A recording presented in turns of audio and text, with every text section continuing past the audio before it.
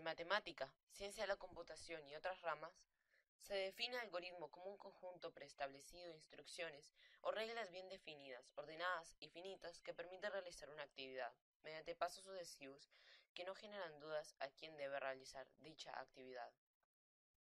O, en otras palabras, da la oportunidad al usuario de dicho programa de escoger una posibilidad que tiene como resultado una consecuencia. Por ejemplo, cuando tú en un juego quieres abrir una puerta, se desarrolla un algoritmo para poder darte la posibilidad de abrir o no la puerta.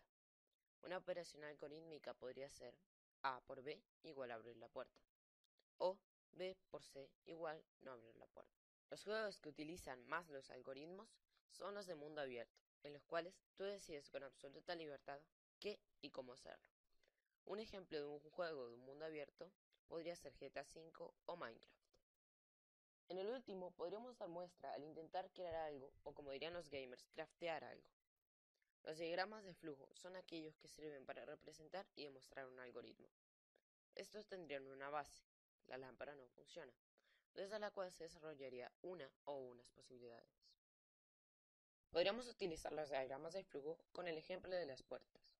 La base sería pasar al otro lado, y las posibilidades serían 1. Entrar por la puerta C 2. Entrar por la puerta A. Sus resultados serían 1. Morir. 2. Vivir.